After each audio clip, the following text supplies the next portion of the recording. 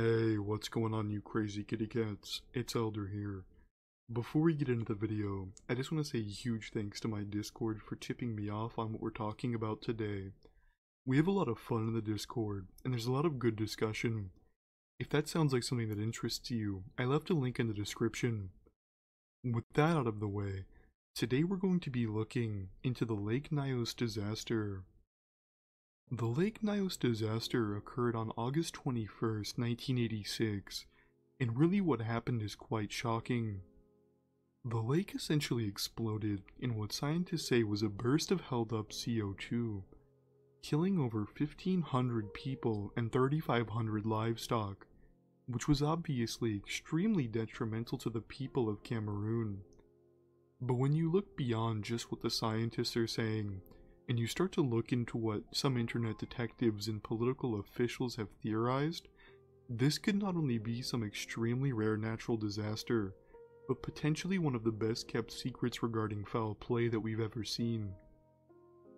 Scientists say that the explosion triggered the sudden release of about 300,000 tons of CO2, and because CO2 is far heavier than oxygen, it rushed down the sides of the mountain into the valleys surrounding the lake and suffocated people as far as 18 miles away. One survivor of this situation said on Friday, quote, Then, I managed to go over to my neighbors' houses. They were all dead. I decided to leave because most of my family was in Wum. I got my motorcycle. A friend whose father had died left with me for Wum. As I rode through Nyos, I didn't see any sign of any living thing. When I got to Wum, I was unable to walk, even to talk, and my body was completely weak. Some people awoke to wounds all over their body, some even missing all of their skin. Secondly, the whole lake had turned red due to the explosion. Scientists have varying theories on what exactly caused the eruption of the gas, but they generally agree with the fact that it was natural and it was CO2. But that seems to be mainly where the controversy lies, with some suspecting potential human involvement in the triggering of the explosion, and some saying the lake wasn't even responsible at all.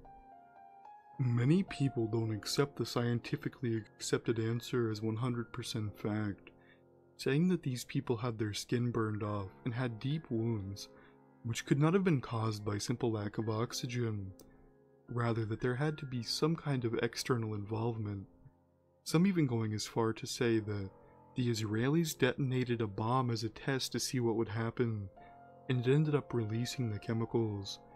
To back their claims up, they cite that the Israeli medical teams were there less than 48 hours after the initial explosion, saying that by the time they would have gotten news, they couldn't have mobilized that fast, unless already in the area. And this brings us to the third theory that someone was testing a dangerous chemical weapon on the people of Cameroon, which is why they had so few survivors and sores all over their body, saying that the lake had nothing to do with it and it was all a cover up to test these kind of horrible chemical weapons, which would explain people not having any skin at all. So what do you guys think really happened at Lake Nyos? The scientific crowd seems to have settled on the fact that it was an extremely violent, albeit rare natural disaster, and I'm in no position to confirm or refute the widely accepted scientific answer. But with all of the backlash and holes in the widely accepted theory, it can at very least just make you pause for a second and consider what really went on. So what do you guys think was the Lake Nyos explosion?